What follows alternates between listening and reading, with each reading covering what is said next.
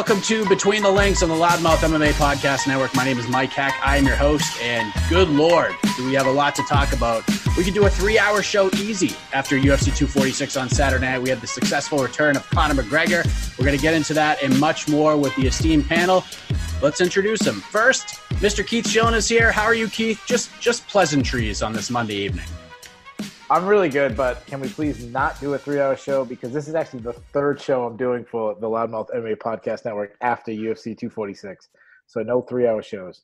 I do the brand new MMA Takeover show, which is tw- the only show that has two episodes a week. We have the what uh, MMA yesterday, which is the only show that does zero shows a week.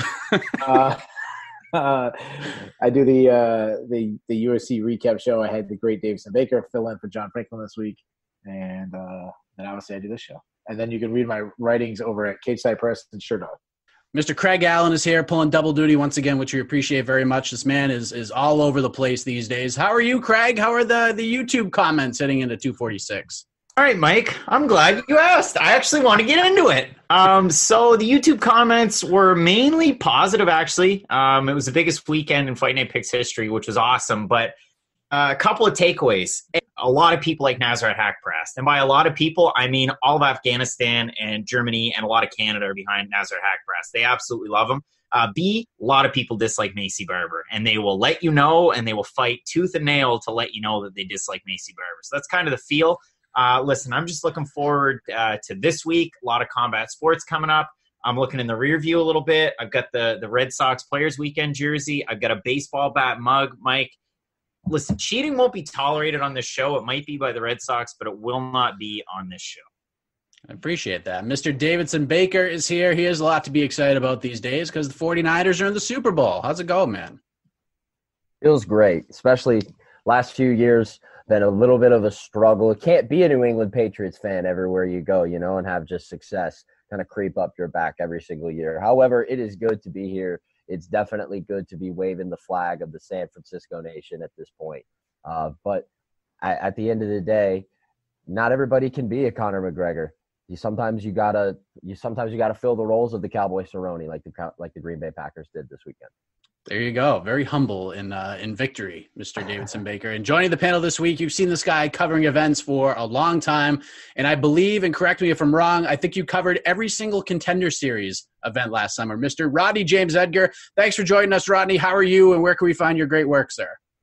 Yes, yes, I did. Uh, well, mainly with Cageside Press. I have my own site, MMASoldier.net. That's more of a passion project, um, but I do uh, you just kind of do my own thing on there. And of course, with Cageside Press, I'm all in on covering UFC here in Las Vegas. What a, what a time to be a fan. And I can't think of a better time to be living here in Las Vegas. And yes, I absolutely had a blast covering Contender Series. And I was very, very fortunate and privileged to be able to do that. So I encourage anyone who has the opportunity to definitely try to get into one or two of those because it's it's unlike any other event you've covered. It's really special. It's very candid and intimate and uh, you know, you you build a lot of good. Uh, if you want, if you're interested in networking and, and you know building up your Rolodex with with fighters, I mean, there's nobody better than than these guys who are you know hungry to get in the UFC, hungry to get some shine on their name.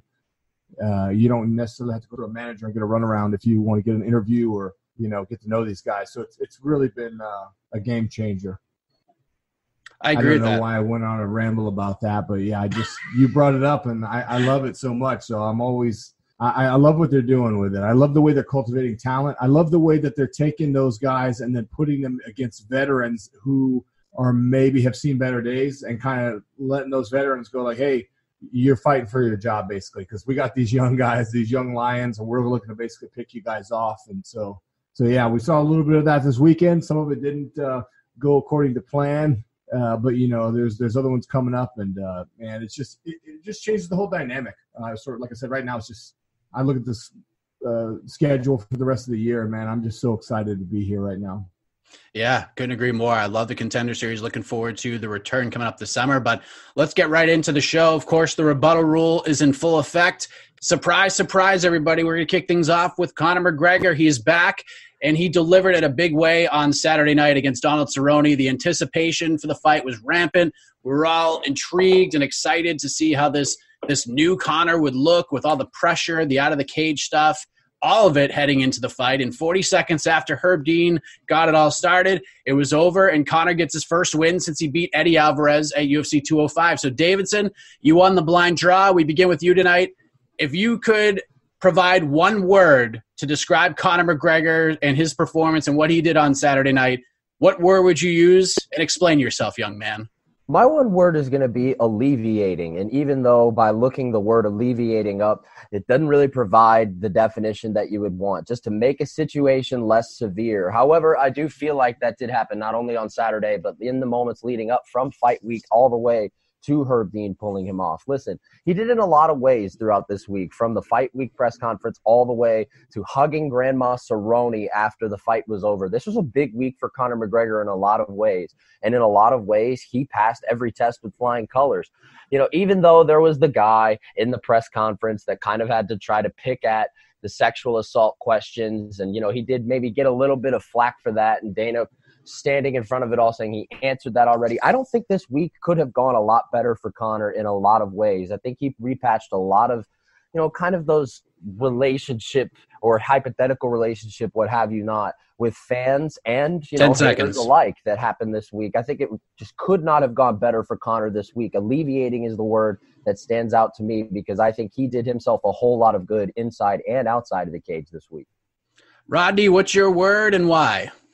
Unreal. I mean, it's there's no. I've I've been saying this in the lead up to this fight, you know, multiple times. I said this is not the movies. You know, happy endings they they just don't always happen in real life because nothing is guaranteed, nothing is promised to you. And when you've been on the shelf for that long, you know, a long time since you won an MMA fight, and and that that adds to that you know that ring rust in a way, um, mentally, you know, and physically.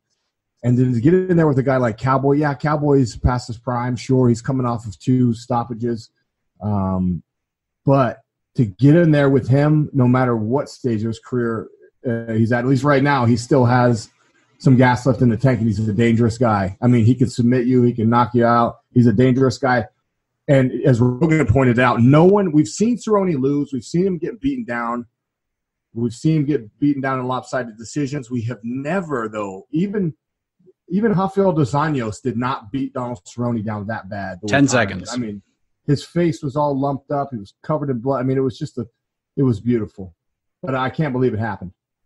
Keith Schillen, obviously, big moment. This is great for the UFC. This is great for Conor, great for business, great for everybody around the sport, frankly, unless you're not a Conor fan. But what word would you use to describe what Conor did on Saturday night in Las Vegas? Well, it was so great that I had to come up with a couple words. So if it was a video game, I would go with flawless because like Mortal Kombat, it would have been a flawless victory. If it was a sports, you know, a, a baseball event, it'd be perfection. The significant strikes was 19 to 0. I would call that like a perfect game. How about this word? I'm making this one up. Tyson esque. He took him out in 40 freaking seconds. That's something that Mike Tyson did. Listen, Donald Cerrone was. We talked about this last week. I talked about it on all angles. Cerrone was the great stylistic matchup for Conor McGregor, but because of that, and because of Cerrone's recent losses, people try to downplay like how good he was. Oh, wasn't that good a win? Donald Cerrone's lost three in a row. What's the big deal? Well, let's talk about that. Jorge Masvidal, the new kid on the block, the one that everyone's going crazy about, took him six minutes to take out Donald Cerrone. Robbie Lawler, former champion, one of the greatest welterweights of all time, Took him 15 minutes and still couldn't stop him. Darren Till, 10 seconds. Middleweight, 420. Leon Edwards, 25 minutes, couldn't take him out. Tony Ferguson, 10 minutes and needed a doctor stoppage. Justin Gaethje, 4 minutes and 18 seconds. Conor, 40 seconds. Tops all those guys. Craig Allen, your word. I mean, Mike, that's normally what happens when a guy who's long in the tooth gets finished in his last two fights. So, I, Keith, great answers. I learned that maybe Mike Tyson took out Donald Cerrone along the way. I was kind of confused by that one. For me, it's commanding. I was very worried during this training camp for Conor McGregor. He said that eh, him and his coaches both said that he was the one that was going to set up camp. He was going to figure out what needed to be done. He was going to set up the drills. He was going to figure out what he needed to get ready for this fight. They brought it over to the Performance Institute earlier than I had expected He had a lot of training partners there. He actually had Owen Roddy and John Kavanagh kind of marry back together and get him ready for this camp. And he looked absolutely phenomenal in the fight against Cerrone. And it was commanding because of all the points that Keith brought up. The fact that, you know, it was 19 strikes to nothing. The fact that he finished him in the first minute. He looked so overwhelming and dominant. He used different techniques that maybe we haven't seen him use. He used that classic boxing uh, shoulder shrug to kind of soften him up a little bit before he threw that kick. So for me, it was a commanding performance. Not only the week leading up, but the months leading seconds. up. The fact that he led that training camp, he abstained, so it seemed, from alcohol beforehand during the fight week. There were a lot of good things uh, from Conor this past week, and and you can kind of put them all under the umbrella of, of it being a commanding performance. I like that round. We had four different words actually with Keith. We had like seven or eight different words, but at the end, uh, Davidson Baker is going to kick things off with the first 10 points of the night as we move on uh, to our next question. Because obviously, with Conor coming back, there's going to be a lot of discussion about Conor in the fight. And as you know, with fights like these and the significance behind them, it leads to these what's next kind of questions. People have been talking about it all the time. Conor was asked by Joe Rogan. It seemed like he was trying to plug his whiskey and move on and, and get to celebrating. But Joe pushed it a little bit more, and Conor sort of left it up the air, said anyone can get it, even the guy at the desk. Like he just called out everybody. And Dana White, of course, he wants the Khabib rematch. He wants it in a stadium. He's a thousand percent confident that that's the fight to make. So I want to get my take on this before we let you guys get into it. You got Khabib fighting Tony Ferguson in April. If Khabib wins, and that's a big if, we're probably not going to see Khabib again until like September, October because we have Ramadan beginning not long after the fight in Brooklyn, and Khabib doesn't even train during that time. He's not typically a guy who takes quick notice fights. He he likes long training camps and long builds, and Conor wants to stay active. So to me, the question is, would it be smart for the UFC for Conor to wait that long? But the question we're going to ask on the show to the panel here, and we're going to start with you, Rodney. With all of those things in play, with Conor saying he wants to stay active, Dana wants the Khabib fight what should be next for Conor McGregor coming out of Saturday night's win over Donald Cerrone? Give me George Masvidal and Conor McGregor for the BMF title. I know that was supposed to be a one-off, but let's be honest. People love that thing. It's it's it's garnered a lot of attention and excitement around it. I think it would be a lot of fun. I think uh, I think it makes sense. I don't think George Masvidal fighting for the title right now uh, makes sense, especially since you know Usman is supposedly injured. So that just leaves him on the shelf and Conor. And Conor is adamant that he wants to fight before the summer and he wants to fight at least three times this year. So yeah, as you said, Khabib, I just think it's it's unrealistic. I feel like and I know Dana White loves when we tell him how to run his business, but I think he feels like because they made so much money the first time they fought that they're just going to kind of go to the well again and repeat that. But I think you can surpass that, honestly. And this week was a perfect indication. Look at the crossover audience. It was almost like you didn't need a whole bunch of hype behind this. You didn't need Conor talking all kinds of trash and having this conflict with an opponent. I mean, Tom Brady was there for Christ's sake. You had uh, you had Academy Award winning actors. I mean, this is a big. There were mainstream people who don't honestly really give a crap about MMA, and they were there because of Conor. Conor's the A side. It does not matter who he's fighting. I think Masvidal for the BMF title is is the way to go. Definitely not boxing, and definitely not Khabib. Keith, Conor McGregor said it a few years ago having options in fighting is everything. And he's got a lot of them now. Which options should he pursue? What's best for business here, you know, outside of the Khabib one? Or is it Khabib in your mind?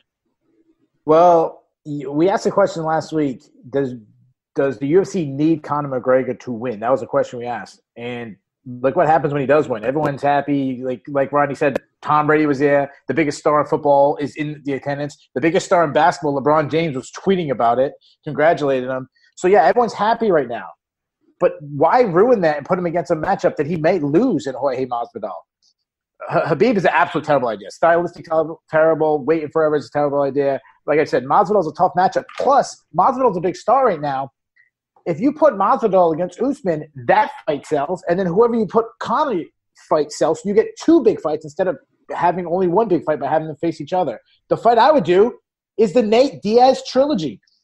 First of all, you need to finish the trilogy. Conor's going to win that fight, so now he has that one up on it, having the trilogy. And then just look at Diaz's performance. Really, he's declining. He's in the perfect situation for Conor to not only beat him but to smash him. He Jorge Masvidal looked 10 seconds. lightning fast against Diaz. Is Jorge Masvidal like that? Yes. But was Diaz being extremely so? Yes. And being that there's so many options for Conor, and the fur- the more wins he gets, the closer he gets to title fights, the chances of fighting Diaz starts to decrease. You actually might miss out on the trilogy if you don't do it now. The fight to make is Nate Diaz. Craig, there's a lot to consider here, and the beauty of this sport is that we can ask a question one week and then come back after the fight ends. We can ask it all over again because, by all accounts, we were wondering. We talked about it on many of the different shows on this network. How successful would this event be? Would the you know I guess the lack of depth for the casual fan can Conor carry a card like that? And from all indications, even Dave Meltzer was on his show today, the Observer newsletter show, and said that the trends that he saw you know, with this new pay per view model, looks like the pay per view did what would equate to 2 million buys in the old model. So huge success across the board. People were into it. How do we build on that success moving forward? What should be next for Conor McGregor, knowing all of that? I mean, I think a Diaz trilogy, you can certainly sell it. Um, it's just tough the way that Diaz has been trending, especially after the Masvidal loss. I know a lot of people want the Masvidal fight, and I would put myself in that camp too. I think Keith brings up a really good point. Why would you snuff two big pay per views, uh, you know, to just create one? And are you really going to top the numbers that you just got out of the Cerrone uh, pay per view, especially like you said with the old numbers? Who knows? I mean, I predicted that it would get uh, less than 500,000 buys. Now, was that, you know, a made for TV moment? Yeah, it probably was. But I mean, realistically, you had to assume that it was going to do good numbers. Now, if I was looking to set something up, you had uh, somehow it seemed like an odd angle near the end, but you had Budweiser versus Proper 12. Why not have Mezcal tequila versus Proper 12? Why not sell whiskey against tequila? Why not get crazy? There's so many different things that you can do there. You get two of the biggest stars of the sport. Uh, that have longevity. They're they're in the news right now. It's an easy sell. Why not go with that? You could sell it International Fight Week. You could sell it before then. If Usman is really hurt, like like we assume that he is, uh, Ten know, seconds. He definitely was hurting on Twitter over the weekend. So why not make that fight? Why not make Masvidal and Conor McGregor? Davidson Baker, your thoughts? I, I know you said last week you're very adamant about the Nate fight, or two weeks ago we talked about this.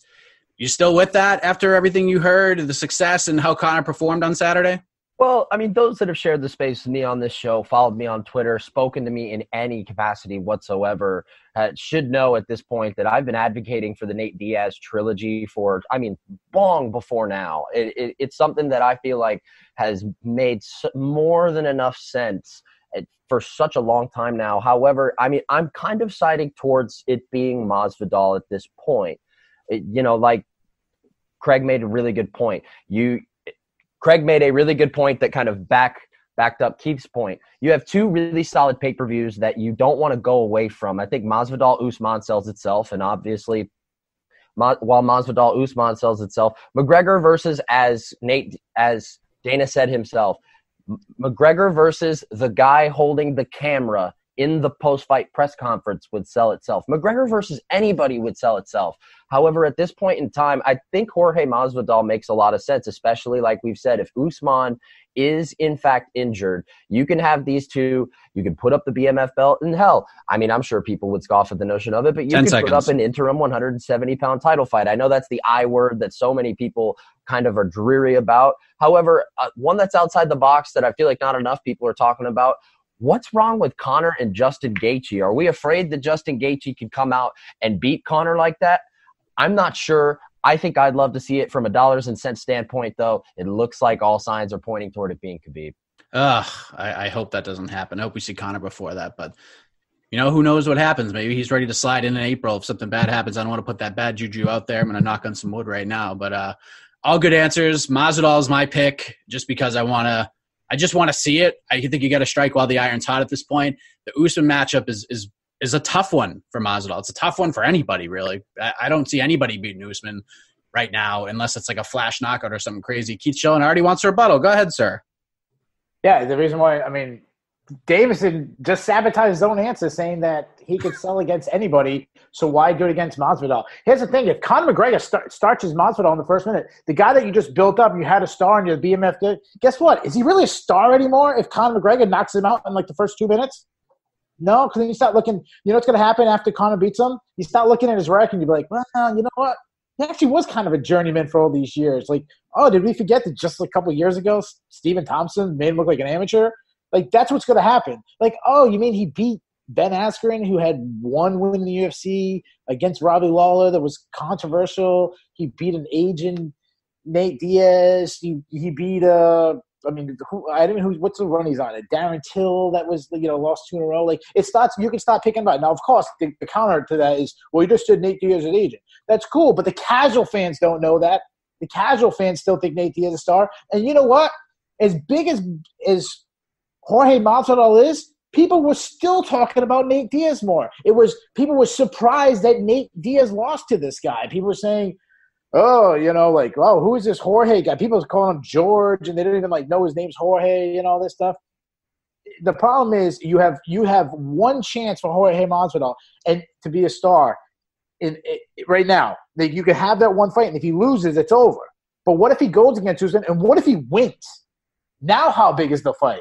And Conor gets the win against Nate Diaz. And now Conor's on the two fight winning streak. And he look and, and imagine if Conor starches Nate Diaz, which I think would happen being the way Nate Diaz is declining.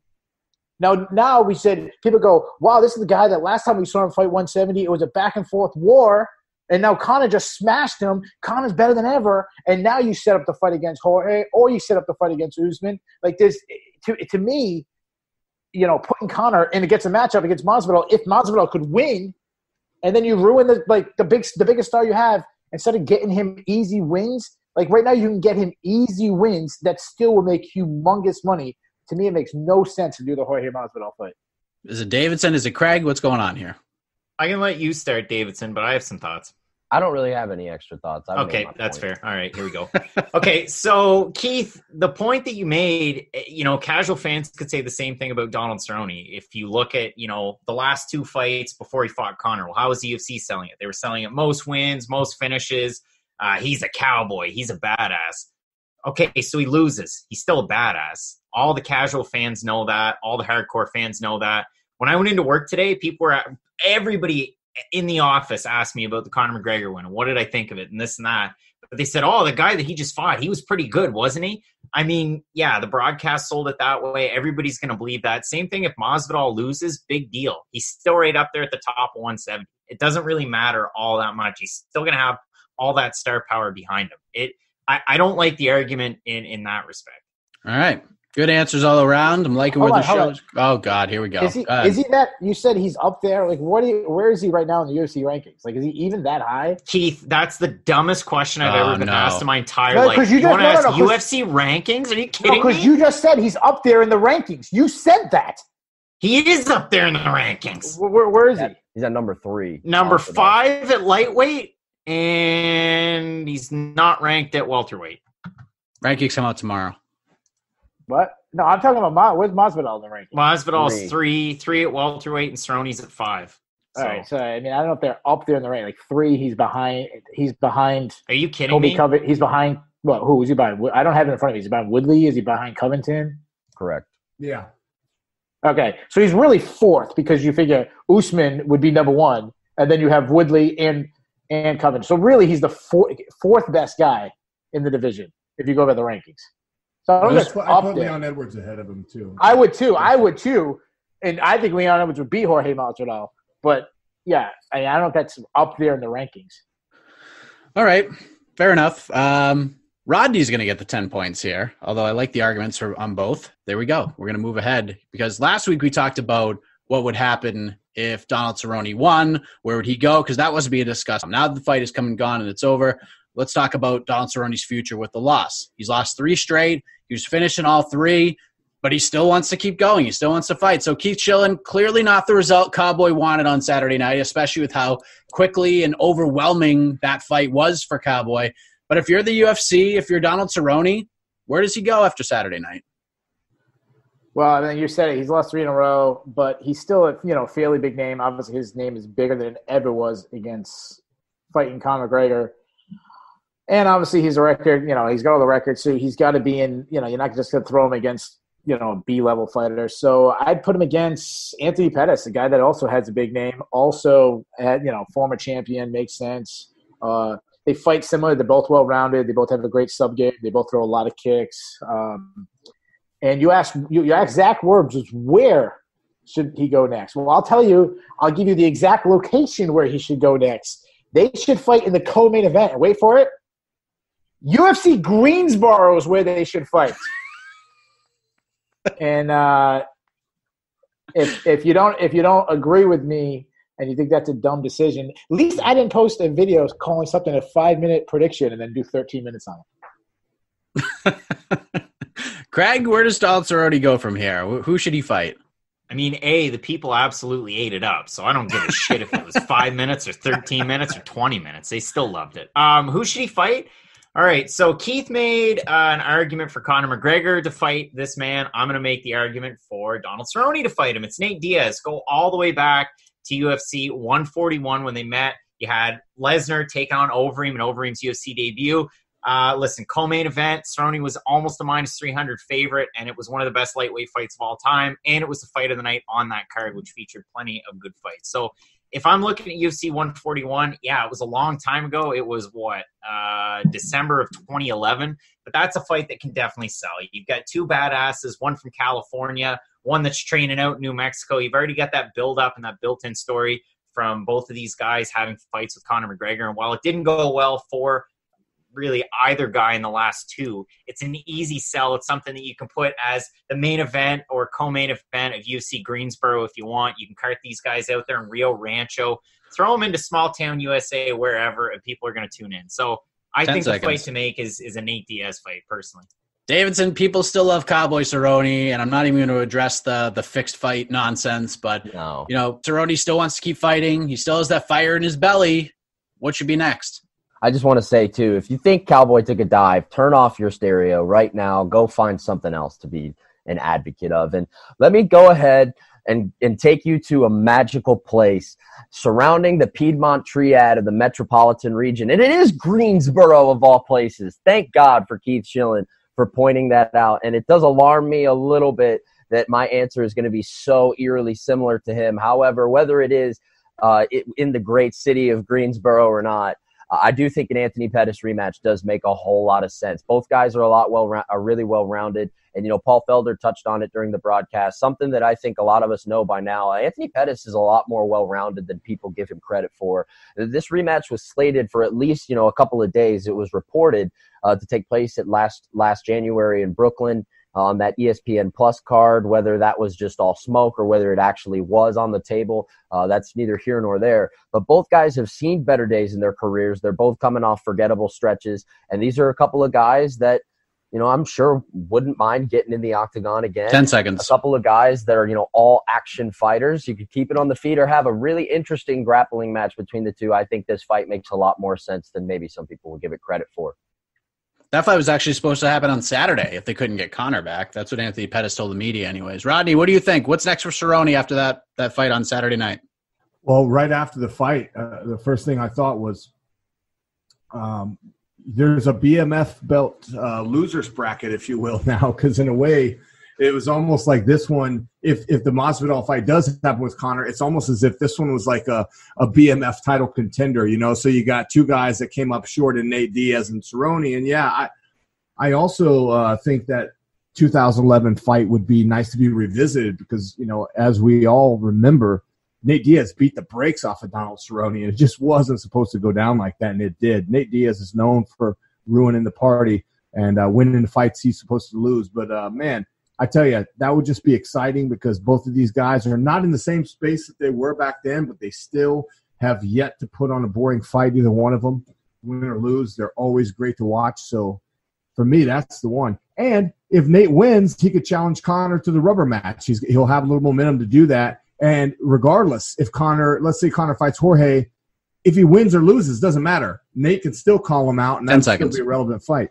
Craig Allen wants to rebuttal. Go ahead, sir. Yeah, I do. I mean, uh, Davidson's all in on Anthony Pettis and Donald Cerrone. I mean, yeah, four and eight Anthony Pettis. That'd be a fun fight, Davidson, especially for the great fans of Greensboro, North Carolina. Wow, great fight for those those folks. I mean, if if Donald Cerrone wins, again, Anthony Pettis goes to Bellator. If uh, Anthony Pettis wins, maybe sticks around for a couple more fights, wins some, he loses some. Nobody cares because it's Greensboro. I, I don't really think that that's a great fight. I mean, yeah, Anthony Pettis is fun and all, but he, you know he's not winning fights. Is it really a fight that the people want? I mean, Davidson's the people, so I guess Davidson wants it, but I, I don't think it's a fight to make.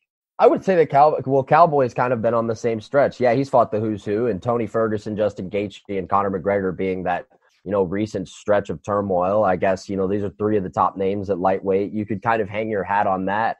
But at the end of the day, these two guys have an eerily similar trajectory at the moment. Uh, maybe not from a stardom standpoint, given that Cowboys name was associated next to Conor's that whole time, but they're both on forgettable stretches right now. That's more so Yeah. that, that I think that makes sense than anything else. Yeah, so I got to jump in because he because he attacked my argument too. He just was too scared to say my name. Um, so I I got no issue with if you want to put Nate Diaz in against Donald Cerrone. What I hate is like if we're being serious about the location about a fight night. Like if you're Nate Diaz, you're one of the biggest stars. I mean, you, if we were ranking stars in, in the sport, Nate Diaz is in the top five, maybe top three. Like he's a bigger name than Jorge Masvidal. I, I don't care what anybody says. If you know who Jorge Masvidal is, you know who Nate Diaz is. Nate Diaz is a bigger star. He was the A side of UFC 244. At UFC 241, when he fought Anthony Pettis, the ticker on SportsCenter started with Nate Diaz, not the legendary Daniel Cormier and Stipe Miocic battling for the heavyweight title. It was Nate Diaz. His result came first. Uh, and you said you said something about like casual fans still know Donald Cerrone's tough. Like I don't know which casual fans you're talking about. Everyone's every casual fan I talk to, all they're talking about is Conor McGregor. They're not talking about how great uh, Donald Cerrone is. If anything, Stephen A. Smith is a casual fan. What is he saying? He's trashing the shit out of Donald Cerrone. One of the worst. Like, it, and as much as people like, you know, he shouldn't be breaking out technical stuff. But what he's saying is true. His performance was atrocious. And and my biggest ba- beef is that Craig goes, oh, that's a good fight. You know, Anthony Pettis, you know, four and eight over his last twelve or something like that. Well, that's cool. If your pick wasn't Nate Diaz, who's four and five over his last nine, like yeah, that'd be a good argument. Last time I checked, four and eight was better than four and five. Um, and the other thing, like, there are a lot. But of wait, wait, hold on, hold on, hold on, hold on, hold on. Stop, stop. Sorry, four and five is better than four and eight. Yeah, yeah. But let me ask you this question. Not talking money, not talking name, not talking fame. Who had a better career? Nate Diaz or former UFC lightweight champion of the world, Anthony Pettis? I mean, Nate Diaz was at the top of some. Let me say that again. No, let me say that again. Let me say it again. Nate Diaz, who won Ultimate Fighter season four, or former UFC lightweight champion Anthony Pettis?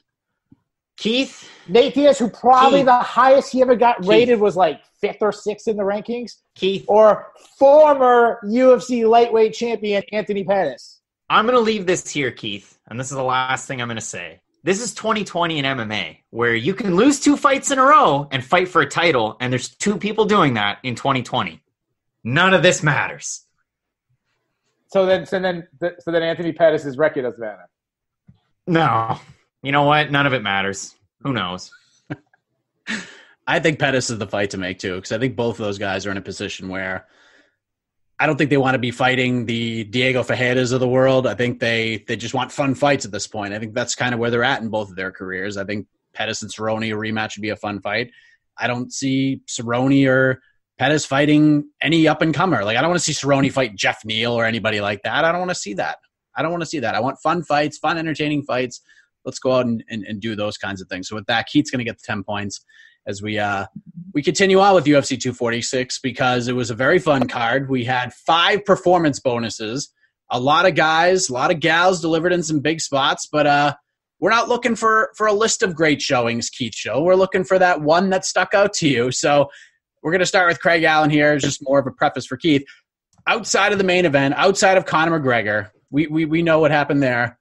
Who stole the show on Saturday night? I'm going to go with a fight that Keith Schillen uh, had picked as a 29 27 victory. This is a fight that many people believed was a fight of the night. It was at flyweight. We've seen the resurgence of the flyweight division, Askar Askarov and uh, Tim Elliott. I mean, it was a great fight. I really slept on Tim Elliott. I thought, yeah, this guy fought for a title back in 2016 off a win on the Ultimate Fighter against Demetrious Johnson. He looked good there. He's good in the scrambles. He can really counter what Askar Askarov is good at but we saw why Askar Askarov is good. We saw why there's all these people out there today saying, oh, you know, the talent from former ACB, now ACA, likes to beat, like Askarov, like Petr Yan, why they're having such success because they're so well rounded. We saw from Askarov. He has power in his hands. He's good in the scrambles. He's good with, with uh, you know his grappling in general. And what a show those guys put on. I mean, like I said, as far as the scoring was concerned over on MMA decisions, there were a few 30 26s, a few 30 27s, and multiple 29 27s. And, you know, it was just a great fight overall. Uh, both guys really brought it on. I think 125 seconds. is in a great spot in 2020, and I'm looking forward to more and more fights from guys like this uh, this year. Davidson, who stole the show outside of Conor McGregor for you at UFC 246? Can we go ahead and default to the fact that I'm not going to get the 10 points for this answer just because, I mean, how can you say anybody stole the show? I mean, Maycee Barber tried to steal the show and tried to make sure that she got off at the end, that it was Roxanne's time to shine, let alone the fact that she was grabbing the microphone. I mean, get out of here with that. But, but regardless, I don't really have an answer here. I don't think anybody stole the show. I think people tried to. I think the Versace robe and all of Jorge Masvidal making his darndest attempt to. And he looked like he may have, you know, had maybe shed a tear when Conor did not say his name and mentioned Paul Felder of all people. Hey man, Paul Felder could have stolen the show without anybody even trying to. Look, I, I just have to I have to admit my losses here. I don't have a good enough answer here. I, I, don't think that there was someone that could have stolen the show. And maybe it was because of the fact, as I alluded to last week, this card was built in a manner as they've built past Conor McGregor cards. There, it was just, it wasn't very star studded. It wasn't, it, it wasn't very deep. It, you could make an argument that if you seconds. flip, if you flip the four fights leading up to the Conor fight, with four of the fights leading up to Dos Santos and Blaydes, it would be interchangeable going into next week. I mean, it's of the same stature. I just don't really know how I can answer this question here. And I'm fully relinquishing my ability to acquire the 10 points in this situation as a result because I don't think anybody stole the show, and rightfully so. All right, Rodney, we had some some good performances, and what happens when you have a Conor McGregor at the top of the bill is that you get a lot of eyeballs on some of the other up and coming talent. I thought the card, you know, was more of a hardcore fans card, but I thought it was a good casual fan card too because we got to introduce some new fighters to these casual fans.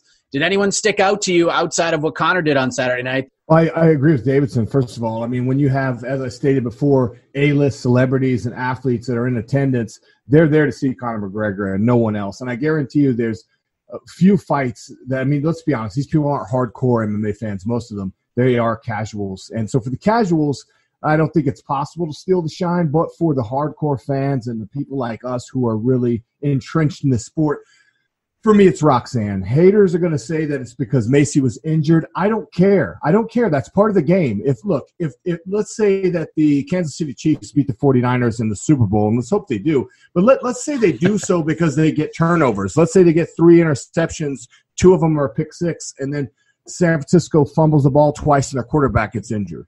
Nobody's going to be saying, well, they only won because those things happened. They're going to say they won the freaking Super Bowl. Roxanne, I think, would have won either way. She came out there ferocious. She's looked better than she's ever looked. And her work with Jon Wood over the last few years has really, really shown the connection that they have. There's something special going on over at Syndicate. A lot of high level fighters over there. A lot of fighters that keep getting better and better with each fight. Roxy's one of them.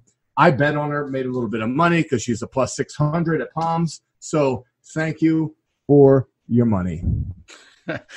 Keith, who got it done in your eyes better than anybody UFC 246 outside of, of course, Conor McGregor? Yeah, so of course Conor's going to get all the headlines, but I'm going to give you the ultimate out of the box answer. So, uh, the, no, the day afterwards, when I talked to everybody, everyone wants to talk about Conor, but two of my friends actually asked about a fight other than Conor, and it was the last fight of the ESPN card leading in, and it was actually not Roxanne Modafferi they were talking about. They were talking about Maycee Barber. Even though she lost, fans were floored that, by her toughness. It was announced on national television that this little 125 pound girl tore her ACL. Instead of giving up, she fought for two rounds on a torn ACL. Think about it. A running back tears his ACL and you won't see him for a year. This girl is hopping on one foot on national television on the biggest card of the year, throwing punches with her other hand instead of quitting. And she's like, what, 21 years old? So you know, who had, you know, this question, the question was like, who stole the show? That's the only person that was talked about other than Conor McGregor was Mace If, if the question was who had the best performance, I'd go with Drew Dober. I mean, he was a big up, he was a big underdog too, and he he put uh, Nasrat Haqparast unconscious. But I got to go after Rodney because the only guy I haven't gone after yet. Real quick, he said no one would talk about and no one would make excuses if Kansas City beats San Francisco. But I want to flip his scenario. If if San Francisco beats Kansas City, but Patrick Mahomes gets hurt in the first quarter, everybody's going to be saying that they only won because Patrick Mahomes got injured. So uh, I, I, I appreciate his effort. He was wrong on that. Any response, Rodney? Well, I mean, I don't know if I agree with that. I mean, they're an inferior team. I mean, if you look at their record, the strength of schedule, and then, I mean, they've also been in some really bad situations that, you know, that they were able to bounce back from, but, you know, they were in situations that, uh, in deficits that San Francisco hasn't even been. I mean, San Francisco is just a team that ran the table this year. I mean, that's just all it is. And, uh, you know, I, I don't know. I, I think, uh, I think it'll take nothing short of a miracle. I think they're going to need some help from the referees and from the, uh, uh, what the NFL gods, if you will, on turnovers or uh, intangibles, if you will. So I don't know. Hold on, uh, who, who, is he saying Kansas City's going to need help? No, Kansas City is, is, is an inferior team. Period. so I mean, you, you, know, so a guy who's at Vegas lives in Vegas. You know they're the they're the favorites, right?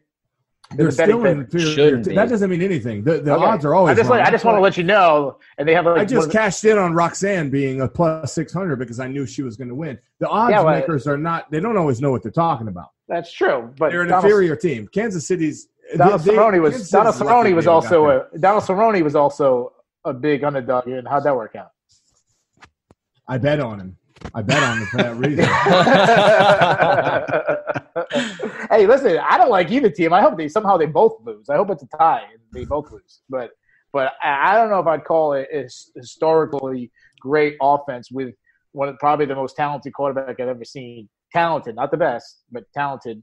You know, won the MVP a year ago, 50 touchdown. I don't know if I'd call that you know, they're great I, overall. Go, brother. They have the, they have the best quarterback in the league, the best tight end in the league, and the top five wide receiver. I don't know. I don't know. Hey, good luck. Hey, good luck. Hey, George Kittle will have something to say about that, my friend. Yeah, that's cool. He could have something to say about it, but the stats don't lie.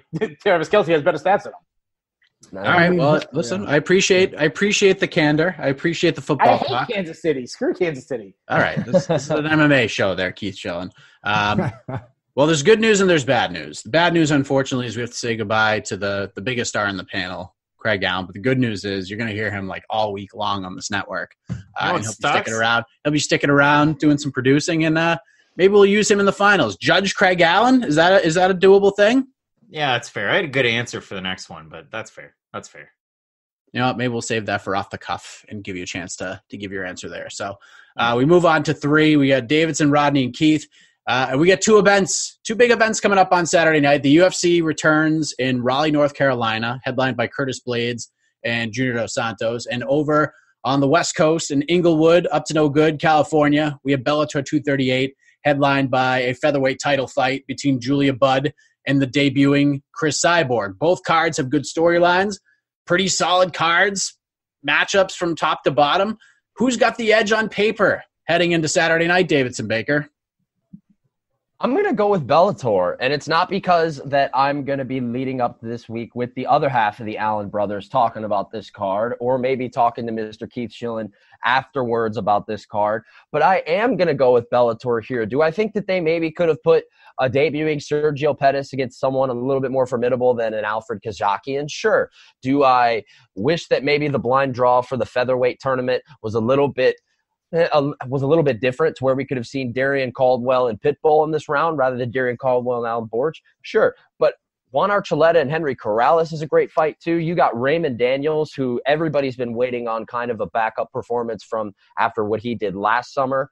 Uh, and obviously, it's all about the main event. And Julia Budd and Cris Cyborg, this is a fight that – as we've we've talked time and time again on this particular episode about the MMA purists and the people that are you know kind of in the folklore of the hardcore side of things. And if you're a hardcore MMA fan, ten seconds, you're going to tell me that you have not wanted to see Cris Cyborg fight Julia Budd, particularly after the Amanda Nunes kind of tri- the Amanda Nunes thing kind of trickled down then you'd be lying to yourself. This is a fight that a lot of people have been waiting to see for a long time, and I, I for one, am certainly very excited that it's finally going to take place.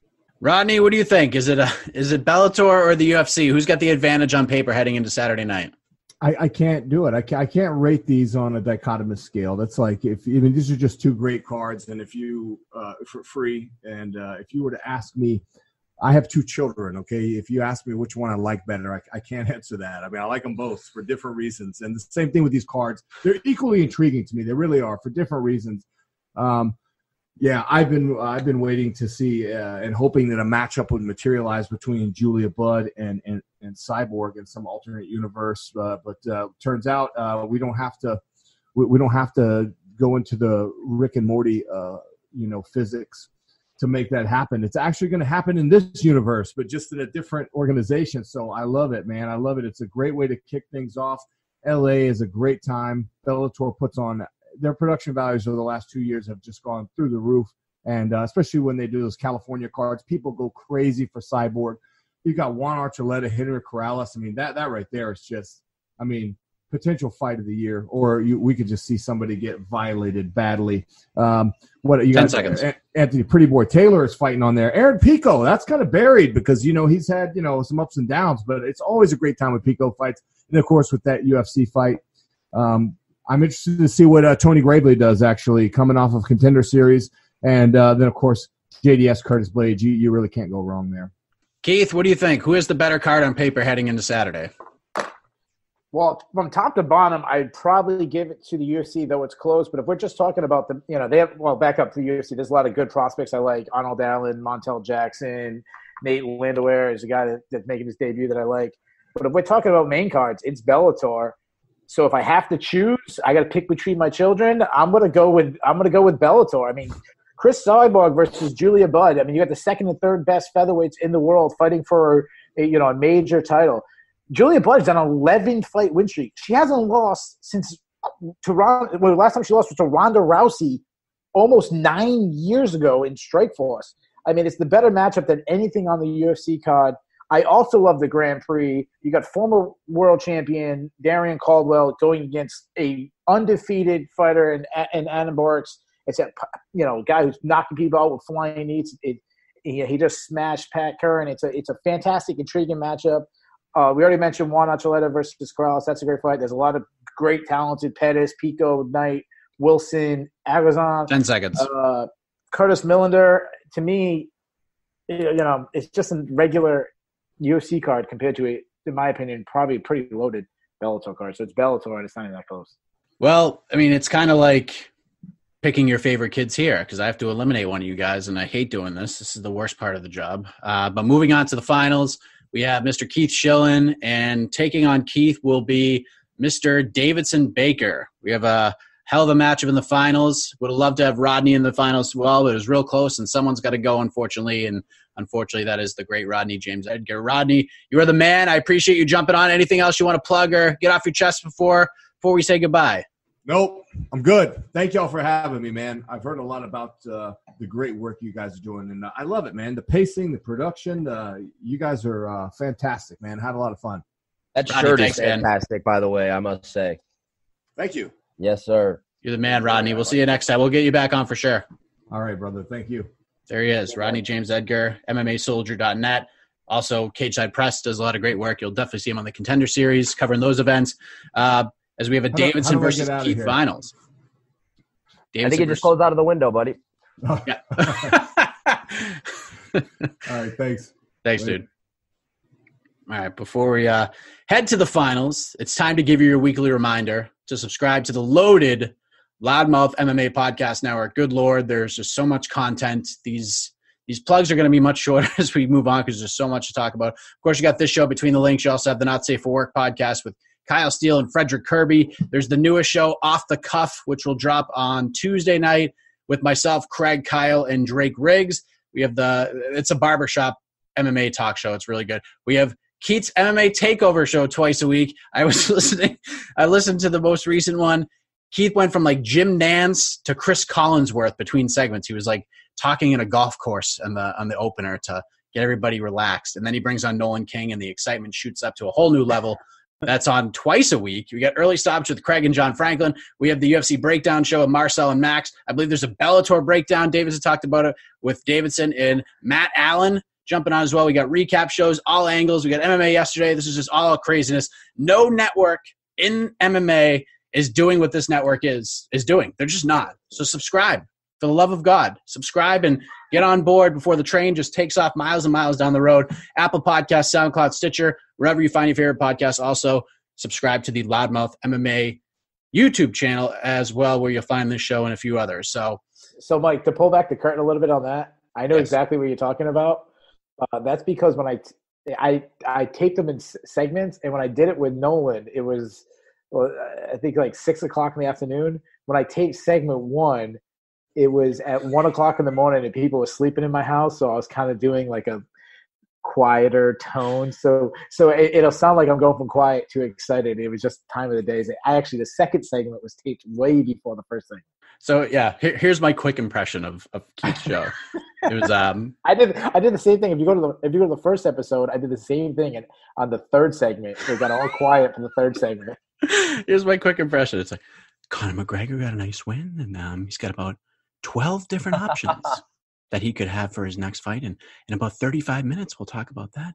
And uh, coming up next, Nolan King. And then Nolan comes on. Oh my God, the King is back, motherfuckers. Now the king of MMA media is here, Nolan King from MMA Junkie, and then it just it was so hilarious. I was dying laughing.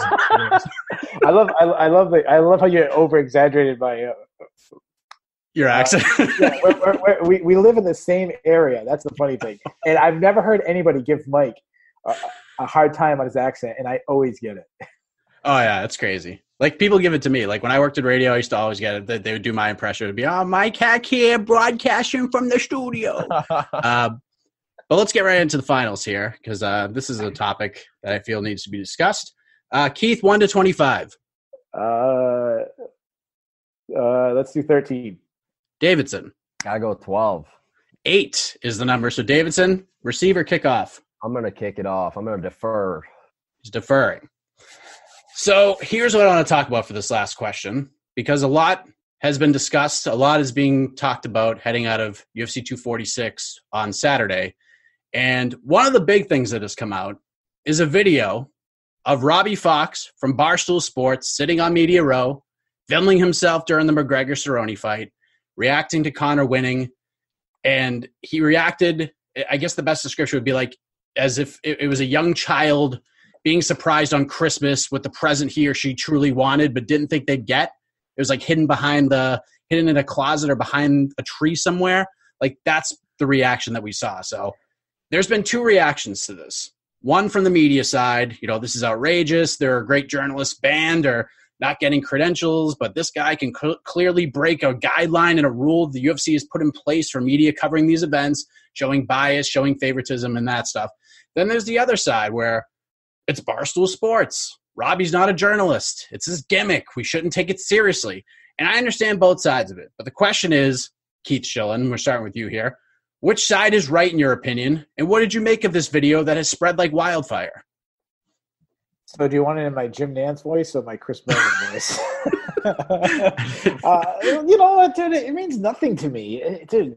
It's Robbie Robbie Fox. This is the guy that he he did a he did a video beforehand where he was somehow he got turned into Conor McGregor, and they kept comparing the two lives, and he got like jumped on the street, and like it's just silly. It's barstool, but people saying like they shouldn't be there. They got 4.3 million followers on just Facebook. I didn't even look into Twitter like yeah, they should be there. They're fun. They're funny. Like, yeah, don't take them too seriously. Yeah, which great media member didn't get to go there? Like, I, I can name a couple names. They're like negative, and they're like, I don't know if they even like MMA. There's like a whole group. I don't want to say the website, but we all know which one I'm talking about. There's like three or four of them. Like, I unfollow them on Twitter. Like, I, I, I mute them, and they're like, the guys that like Conor McGregor would get a win over Donald Cerrone, and they'd be like, "Well, isn't that really good of a win? Uh, you know, he beat a guy that uh, you know he's lost three fights in a row, and then, and then you know, you know, knocking him out in 30 seconds. That doesn't excuse the rape allegations, which, by the way, is allegations, not true. And you,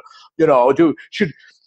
You know, I, I saw another person who didn't get press, press convention goes, oh, it sucks that Alexa Grasso fight got canceled. I wish it was the main event that got canceled. I wish that happened because I hate Conor McGregor. Like, dude, yeah. So honestly, I'd rather have Robbie out there dancing with the Irish people and having fun. Like, like, are we supposed to like really expect, you know, great journalism from you know, like Kareem Sadine does or Sidon, however say his name.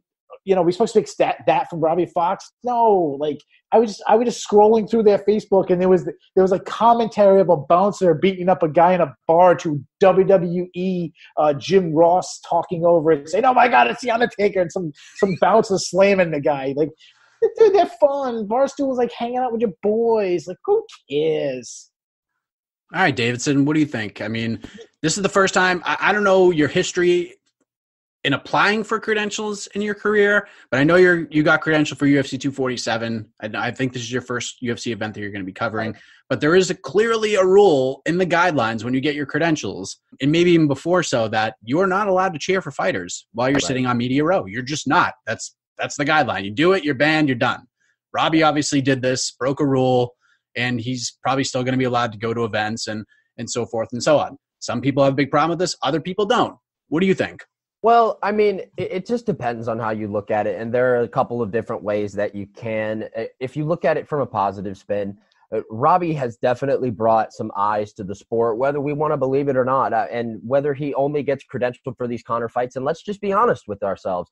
John Franklin, our good friend on this network, has said it many times, and I think it's an absolute fact. He's a casual. He is. And at the end of the day, he we don't know how many new eyes that he's brought to the sport that have gone maybe farther than becoming a casual. Now, where I do have a little bit of a problem with it though is that we and I am going to name drop here because maybe I am out of place, but like, you know, we have guys that have dedicated a large portion of their lives to covering the sport, guys like Josh Gross and guys like Trent Reinsmith that are not going to be credentialed.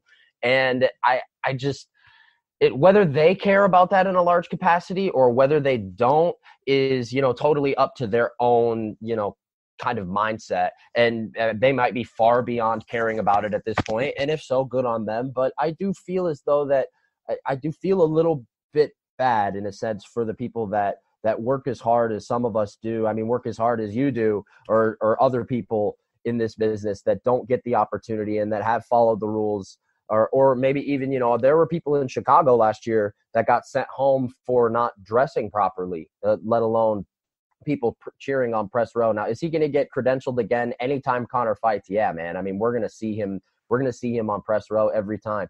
And I do understand the positive spins that he brings to the sport. And like, I don't really have like a huge problem with it, but I mean, we just have to assess it the way it is. He is a casual, and he is going to act as such. All right, interesting. My take So- on it, I'm kind of like in the middle. I'm kind of in the middle. Like Robbie Yeah. is who he is. He's got a relationship with Dana White. And Yeah. who's to say that Robbie didn't reach out to the UFC ahead of time and say, listen, I'm going to do this video. Obviously, my gimmick and my my shtick is I'm a Conor fan. Like you all know that. I'm cheering for Conor even before I was covering these events. This is what I'm going to do. Okay. It might be silly, might be against your guidelines, but this is what I'm going to do. Are you cool with it? And if the UFC says, yeah, do it, like whatever you want to do, do it, then who we, we can't complain. Yeah. Like we just can't. This this guy interviewed uh, Floyd Mayweather Sr. with a shirt that said 49 and 1 right before the Conor fight. like, come on. Like, this guy, it, it, it'd be like saying, oh, you know, Jon Stewart is biased. Like, yeah, that's a, he's a gimmick. He's a kind. Or who's the who's the other uh, Repo- uh, the guy who pretends to be a Republican? What's his name there? You know what I'm talking about. Uh, the comedian. He's a comedian, but he pretends to be like a Republican, and he's supposed to be like all the worst qualities of a Republican. Uh, I forget his name. yeah, not Jon Stewart. What's his name? Colbert. Yeah, Colbert. Like that's what this Robbie guy is. He's one of them. Like no one, no one. When they say when they have a guest on and and and they have uh, John McCain on or they have uh, Mitt Romney and they ask them like silly questions. Like no no one complains like oh you didn't give them fair unbiased thing. It's like well that's a gimmick. You know when you're going in. So and and, and just to go after like the Josh Gross. Josh Gross is a fantastic journalist.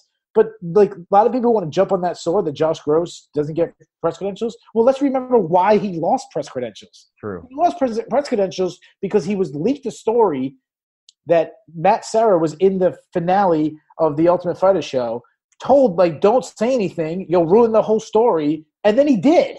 So, like, let's that's not the martyr. Like, you want a martyr, go with somebody else. That's not the martyr. Yeah, that's a good point. Yeah, that is a good point. Loretta Hunt's another name. Snowden, another name. Those guys don't even like it. You want to throw them out there? They don't even like him. Yeah. I'll right. I mean, I'm, I'm just saying that like those those are the, the the normal swords that that people fall on when it comes to this kind of stuff. But people have to understand like the UFC and like Bellator, like the UFC is different than the NFL. Like it just is. Yeah. Like I was talking to to Lynch about this the other day. When you like when you watch a Patriots post game press conference and Brady or Belichick or any of those guys up there, the reporters get one question, one question Right. each. So make it a good one, and then we move on. And if if every reporter wants to ask a question, they can ask a question. That's, right. one of the issues we have at UFC events is that some guys, and I'm not going to mention anybody's names, they'll hog the mic for five questions right off the bat. Then his other journalists are trying to ask questions. This guy will get the microphone back and ask like five more questions. Like it's very frustrating. It's very Yeah, frustrating I the way that the UFC runs operations. Bellator is a completely different event to cover than the UFC. I said I, come was out sorry. I said I was covering the- sorry. And just to add to the well, real quick, and I'll go to you. Covering UFC events is cool. You can get a lot of access. Like you can go out on your own, and like that's what I like to. do. I like to go on my own and like do different things. I don't just like to do what like what the UFC puts out there. I just don't. Like I'd rather go and do interviews with Darren Stewart in the hotel and and stuff like that. Like that's what I would rather be doing. But man, like I I will say that I walk I leave UFC covering UFC events way more frustrated than I do leave covering a Bellator event. No doubt about it.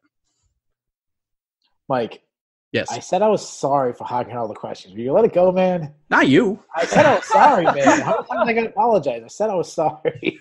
Um, Yeah. yeah, I, I, was gonna say something funny, but I, I forgot. But You Uh, prom- you prompted Dana White to call Colby Covington. Uh, oh man, I, it's slipping out of my mind, man. What did he call Colby? called him a big idiot or something, big loudmouth idiot or something Yeah, like that. yeah, yeah. Oh, I, I feel like you get leeway in, in that regard. so I, I want to i just want to say one last thing about this topic because if you want to trash mr fox and be unprofessional then just be consistent like don't be trashing mr fox for root for fighters and then root for fighters yourself and don't trash him for root you know publicly putting the camera on a room for fighters and then take money from one championship and get flight out on on planes to cover one championship on one championship's dime so you know don't like be consistent I would agree with that. I actually like to me, I thought 2019 overall for MMA media, I think like I was happy to see guys like Lynch and guys like uh, Nolan, guys like Nick Baldwin, guys like that, like get Farah Hannoun, get full time gigs. Damon Martin, that's a guy who's like definitely deserved a full time gig for a long time now. To see these guys like get full time job, very excited about that. So like the growth and like the direction we're heading, I think is a good thing. But I think overall in 2019, the year for MMA media, not great. Not great. Bad precedents were set. And I think we're seeing that again here in 2020. I think we need to do a better job. I do. As a whole, I think we need to do a better job, and it starts at the top, in my opinion. But here we are. Agreed. I don't really care Yeah. about the Robbie Fox thing, honestly. May I go?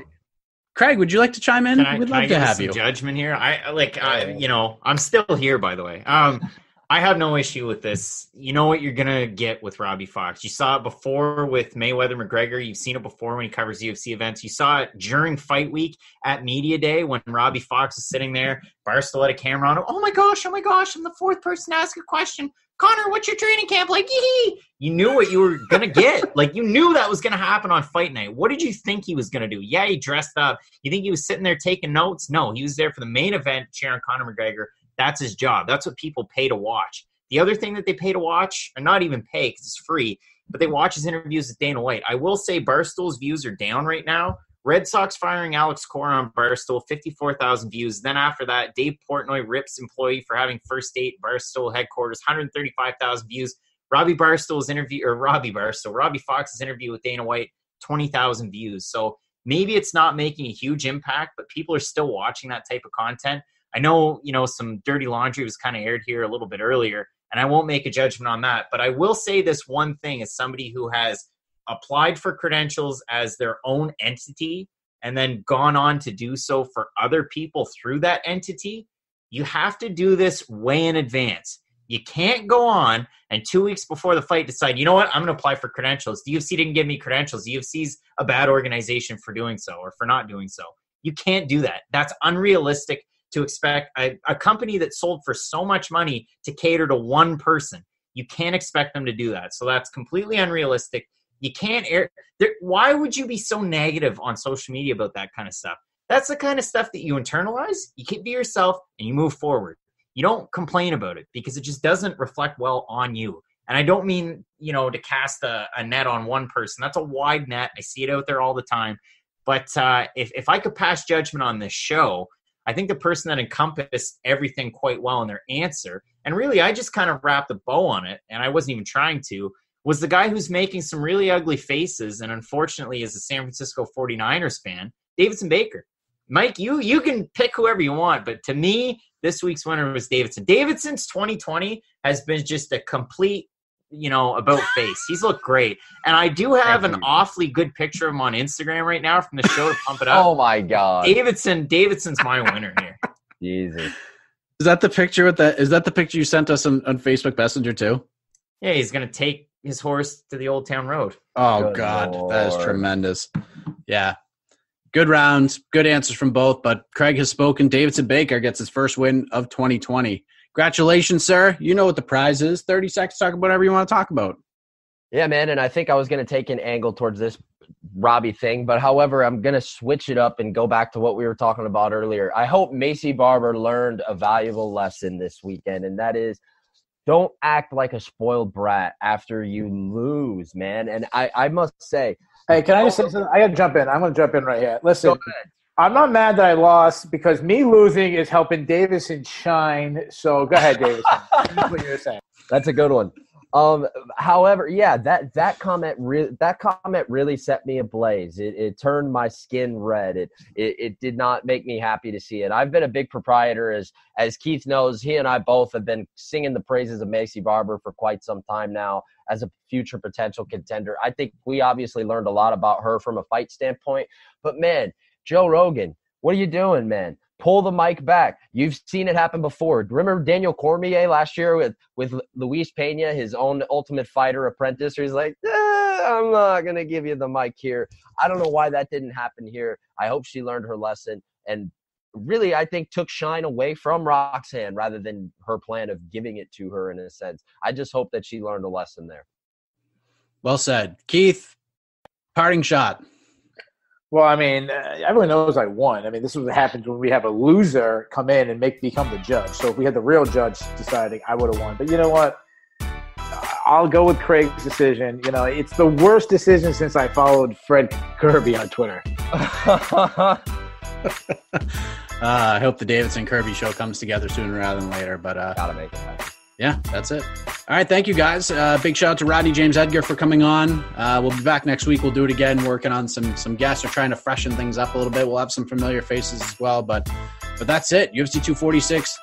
Bo is on at least for this particular program. We'll be back next Monday night, and we'll go back once again between the links for Davidson, Keith, and Craig Allen. I am Mike Heck. We'll see you back here next week. And uh, make sure you subscribe to the network because we have like 17,000 shows coming out this week, uh, re- re- reacting to UFC 246. And of course, uh, looking ahead to Bellator 238 and UFC Raleigh as well. So enjoy the fights, everybody. We'll see you next week.